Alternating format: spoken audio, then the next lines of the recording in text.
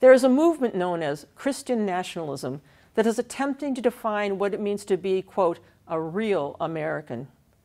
Christian nationalists would define a real American as white, Christian, and native born. The movement seeks to link religious and political identities, often promoting racist, exclusionary, and divisive ideology. This idea is neither Christian nor patriotic.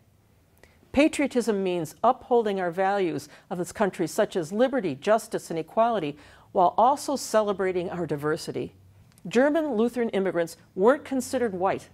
Neither were Irish, Italians, or Poles. Catholics and Jews were considered an alien threat. Christian nationalism is a perversion of the gospel and a threat to our democracy. It is our Christian calling to work together towards a more inclusive society.